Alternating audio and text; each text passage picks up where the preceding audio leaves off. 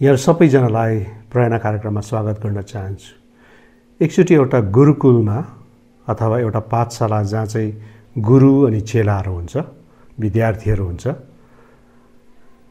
त्यो गुरु चाहिँ एकदमै राम्रो थियो अरे।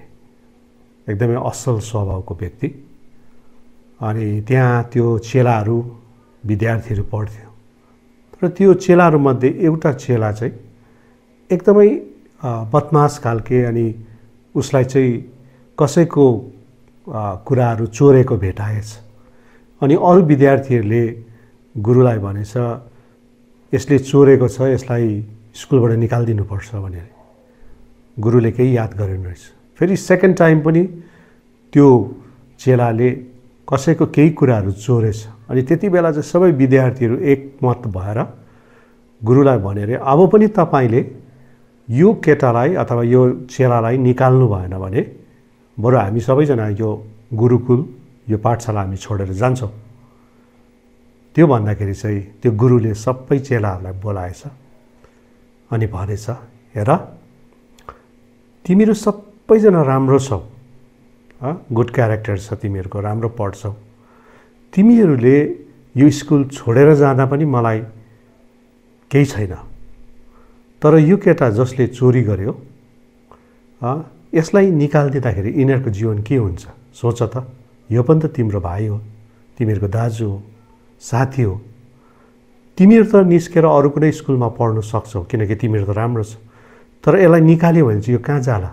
र यसको जीवन चाहिँ के होला? यस कारणले तिमीहरू जाऊ स्कुललाई छोडेर तर यो केटालाई चाहिँ म यो विद्यार्थीलाई चाहिँ म निकाल्दिनँ यो स्कुलबाट। किनकि यो केटालाई म प्रेम गर्छु अनि यसको जीवन चाहिँ म बन्नेको देख्न चाहन्छु। प्रियहरू यो कथाबाट हामीले के सिक्न पर्छ भन्दाखेरि कति मानिसहरू उनीहरूको चरित्र राम्रो हुँदैन व्यवहार राम्रो हुँदैन। एक प्रकारले भने बदमास हुन्छ अटेरी हुन्छ ढिट हुन्छ। तर तिनीहरूप्रति चाहिँ हामीले राम्रो व्यवहार गरेर उनीहरूलाई सज्जन राम्रो बाटोमा ल्याउनु हाम्रो एउटा ठुलो जिम्मा छ। अनि यो काम चाहिँ हामी प्रेमद्वारा मात्रै गर्न सक्छौँ। बाइबलले भन्छ प्रेमले चाहिँ असङ्ख्य पापहरू ढाक्छ भुलहरू ढाक्छ।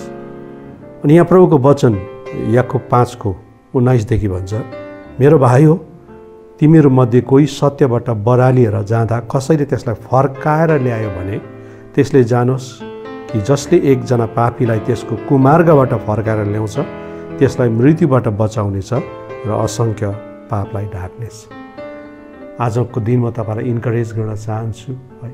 कसैको बदखुवाई कसैको आलोचना क्रिटिसिजम गर्नुभन्दा चाहिँ बरु उनीहरूलाई हामीले सम्झाइ बुझाइ सत्य बाटोमा ल्यायौँ भने उसको जीवन चाहिँ सठिक बाटो सठिक मार्गमा आउँदछ।